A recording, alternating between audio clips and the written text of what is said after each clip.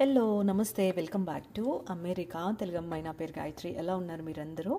నేనైతే చాలా బాగున్నానండి. ఈరోజు అంటే నవరాత్రులు స్టార్ట్ అయ్యి కూడా ఈరోజు అమ్మవారికి నేను నైవేద్యం చేయబోతా ఉన్నాను. ఈరోజు నైవేద్యంలో నేను దద్దోజనం చేస్తున్నాను అనమాట సో ప్రొద్దున్నే అన్నం అయితే వండేసానండి సో నైవేద్యానికి ఫస్ట్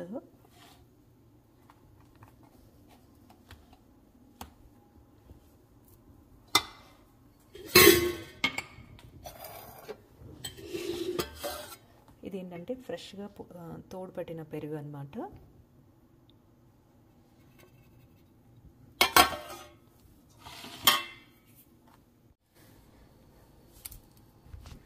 ముందుగా స్టవ్ ఆన్ చేసుకొని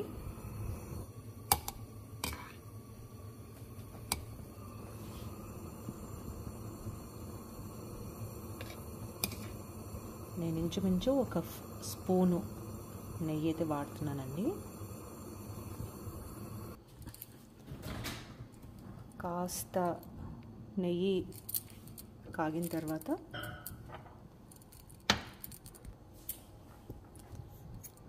ఆవాలు. ఆవాలు అంటే మస్టర్డ్ సీడ్స్ అండి. ఇది జీలకర్ర క్యూమిన్ సీడ్స్.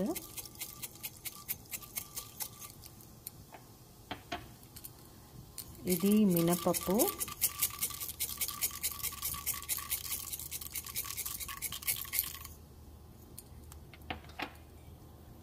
ఇది స్ప్లిట్ ఉడద్దాలన్నమాట.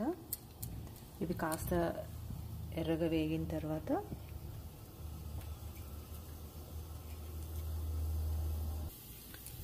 ఇది హింగ్ అండి.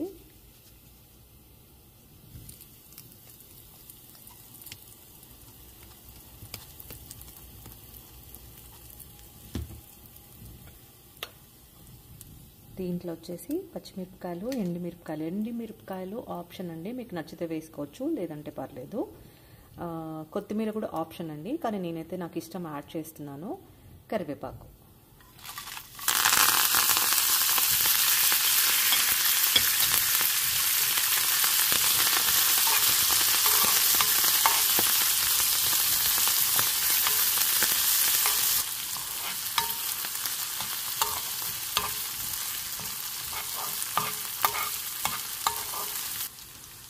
సో దీంట్లో కొంచెం కాజు కూడా యాడ్ చేస్తున్నాను.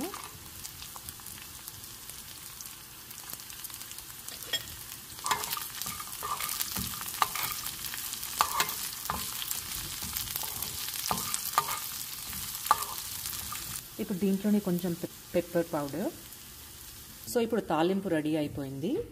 సో మనము ఈ వేడి అన్నాన్ని కాస్త చల్లార్చిన తర్వాత దీన్ని కాస్త మెత్తగా అన్నాన్ని మెత్తగా చేసుకొని అన్నాన్ని దీంట్లో ఈ పెరుగుని యాడ్ చేయాలన్నమాట. నేనైతే ఈ అన్నాన్ని చేతితో కలిపేస్తున్నానండి. స్పూన్తో మెత్తగా అవ్వడం కష్టం కదా.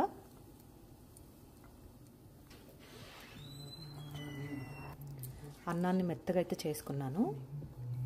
ఇప్పుడు దీంట్లో ఈ పెరుగుని యాడ్ చేస్తున్నాను.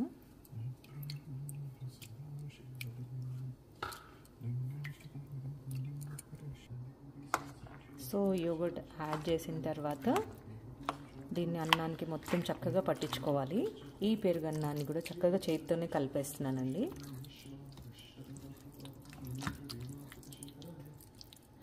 కొంచెం వాటర్ యాడ్ చేస్తున్నాను దీంట్లో ఇప్పుడు. సో ఇప్పుడు వచ్చేసి కొంచెం వాటర్ యాడ్ చేసా.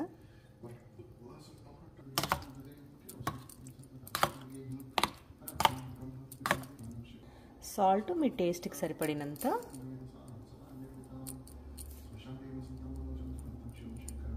అలానే ఇప్పుడు వచ్చేసి దీంట్లో మనం ఈ తాలింపు అంతా కూడా యాడ్ చేసేద్దాం.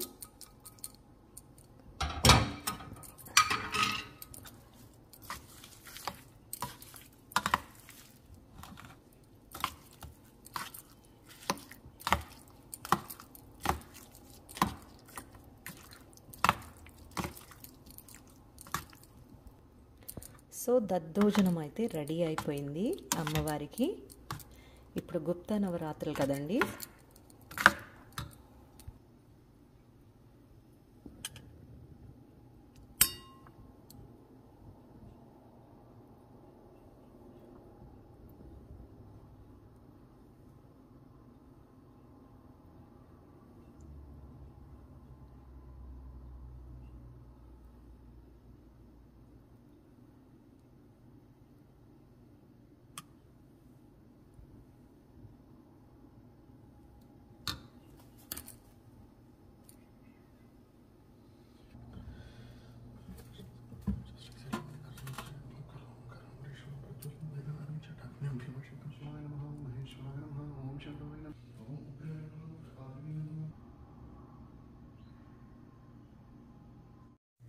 పూజా కార్యక్రమం ముగిసిన తర్వాత అందరికీ బ్రేక్ఫాస్ట్ అయితే చేస్తూ ఉన్నాను. ఈ బ్రేక్ఫాస్ట్ వచ్చేసి మైసూర్ బోండా.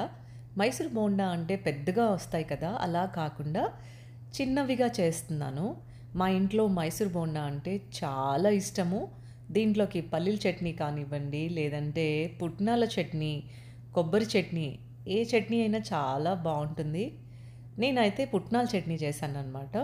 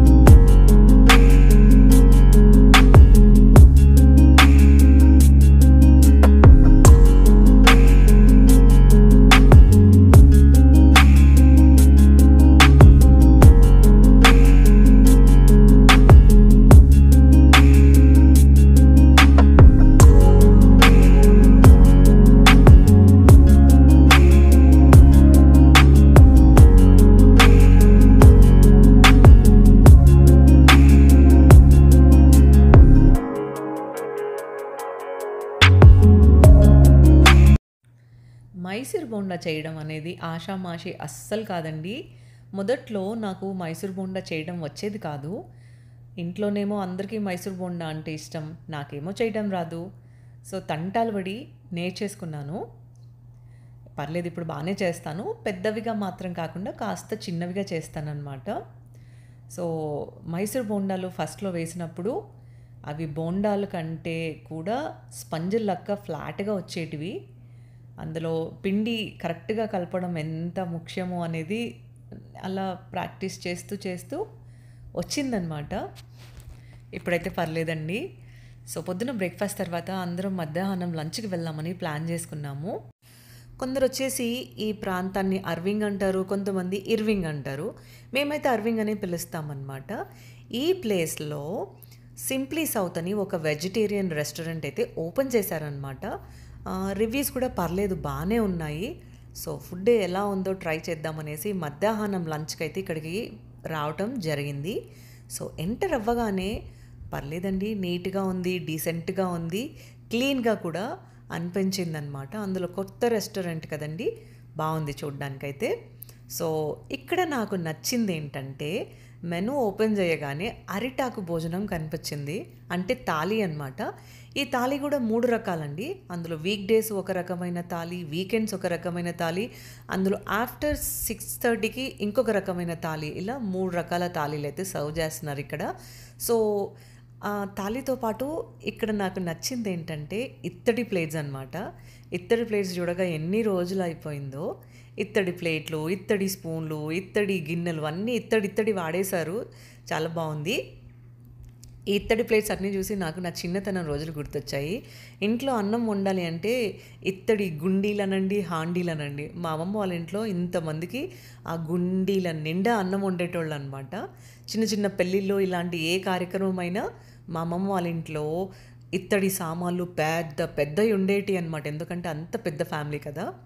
సో చిన్ననాటి రోజులైతే గుర్తొచ్చాయి. మేము వచ్చేసి స్టార్టర్కి వచ్చేసి గోబీ మంచూరియా ఆర్డర్ చేశాము అండ్ మెయిన్ కోర్స్ వచ్చేసి మా హస్బెండ్ తాలీ ఆర్డర్ చేశారు. నేను వచ్చేసి Malay kofta butter non.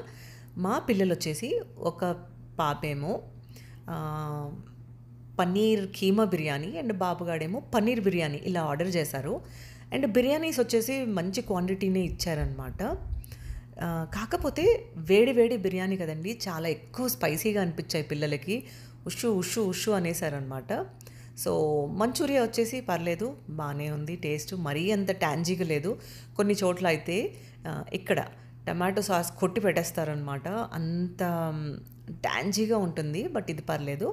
And malai kofta చూడడానికి టెంప్టింగ్గా ఉంది తింటే కూడా పర్లేదండి డీసెంట్ ఉంది టేస్ట్ మాత్రము.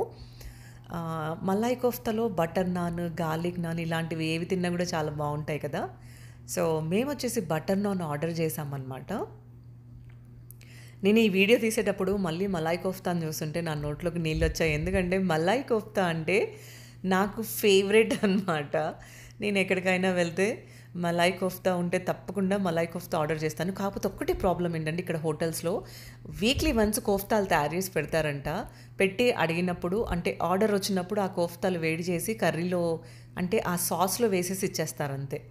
అదొక్కటి లే ఫ్రెష్గా చేస్తే మాత్రం కోఫ్తాస్ చాలా బాగుంటాయి అనిపిస్తుంది. బట్ హోటల్ కదండి. సో యా చూసారు కదా జ్యూసీగా టెంప్టింగ్గా ఉంది కదా. తింటే కూడా పర్లేదు బాగానే ఉంది. ఇది వచ్చేసి థాలీ అనమాట ఇలా ఉంది చూడడానికి. ఇత్తడి చెంబులో అన్నం పెట్టారండి. భలే ముద్దుగా ఉంది ఆ ఇత్తడి చెంబు అయితే నాకు. అరిటాకులో పెడతారనుకున్నాను కానీ అరిటాకులో పెట్టలేదు. ప్లేట్లో ఇలా పెట్టించారు బట్ చాలా బాగుంది చూడడానికి లుక్ వైజ్గా. ముఖ్యంగా ఇత్తడి చెంబు అయితే సూపర్ ఉంది. సో యా మీరు కూడా వెళ్ళి ట్రై చేయండి ఫుడ్ అయితే. ఇది మాత్రం కొలాబరేషన్ వీడియో కాదు నేను వెళ్ళాను కదా అని చెప్తున్నాను అంతే. అంటే నాకైతే నచ్చింది. పర్లేదు నేను వచ్చేసి ఇక్కడున్న వెజిటేరియన్ రెస్టారెంట్స్తో కం కంపేర్ చేయనండి దేని టేస్ట్ దాందే సో ఇక్కడ టేస్ట్ కూడా పర్లేదు. నాకైతే నచ్చిందనమాట ఒకసారి వెళ్ళి తినచ్చు. ఇక్కడ ఇప్పుడు టెక్సస్లో బోల్డ్ అండ్ ఇండియన్ రెస్టారెంట్స్ అండి. మీరు ప్రతి వారం ఒకటి వెళ్ళినా కూడా మళ్ళీ రిపీట్ చేయకుండా వేరే వేరే రెస్టారెంట్కి వెళ్ళచ్చు. అన్ని రెస్టారెంట్స్ ఉన్నాయన్నమాట ఇక్కడ. సో మొత్తానికైతే తినడం అయిపోయింది. ఇవ్వండి ఈరోజు కబులు మరికొన్ని కొత్త విశేషాలతో కొత్త వీడియోలు కలుద్దాం.